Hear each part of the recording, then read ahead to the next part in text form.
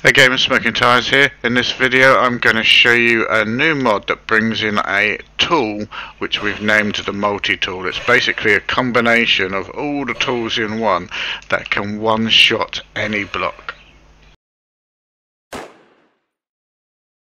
So in order to make the multi-tool you must first find its schematic. The schematic is found in Buried Supplies, in Buried Treasures and in Airdrops.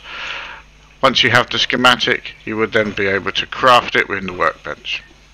The recipe to make the multi-tool is actually by handing in all of the tools that it actually replaces. So you must hand in a steel axe, a steel pickaxe, a steel shovel and a steel sledgehammer.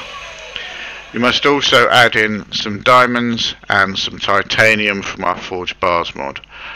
Now the reason it's quite a difficult expensive recipe is because this tool is a godsend. As you say one shot any block any block at all any zombie as well as you can see here. So anything around we can just one shot.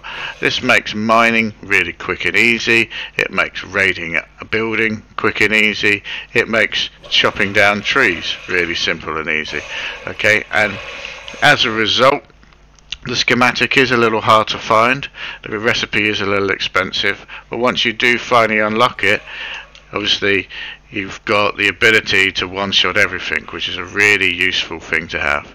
I hope you find the mod useful. Thanks for watching. Bye for now.